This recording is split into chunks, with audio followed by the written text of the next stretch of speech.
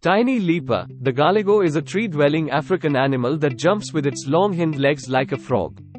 It is known for its ability to leap long distances like 4.5 meters. The largest galago is about the size of a squirrel, while the smallest is hardly 15 centimeters long. The galago's tail helps it to balance.